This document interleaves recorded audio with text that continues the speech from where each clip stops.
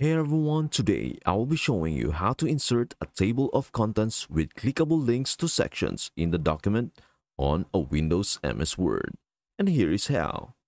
Open your Microsoft Office Word document first. Then follow these easy steps. Then follow these easy steps to build a new table of contents as I will be doing below. Let us just use the same title as this one so that we can create a stylish table of contents later on. The title must then function as a heading.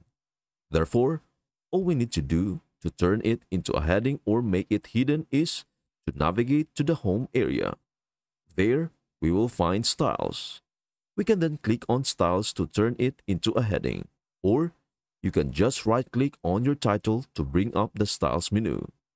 You can now change the title, scale it, and choose the font for any essential item that is now regarded as a heading. After that, we navigate to our table of contents and we right-click on this one to access the links section or you can adjust or you can just select insert. Make sure you are in this document after clicking it. Here, you'll find the headings we want to link to either our title or the heading we made. And that's it. This is how you make your connection or link your table contents to your titles in Windows MS Word.